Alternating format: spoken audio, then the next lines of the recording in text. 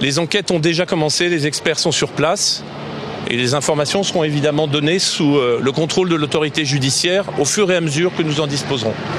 Ce train a donc déraillé dans la gare de Bretigny. Il y a deux voitures, les voitures 3 et 4 du train, la troisième et la quatrième qui ont déraillé.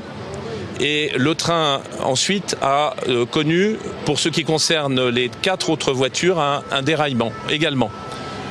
Euh, les pompiers sont en train de porter secours aux victimes et nous n'avons pour l'instant pas d'autres euh, indications concrètes à vous donner, mais nous vous les donnerons dans les minutes qui viennent.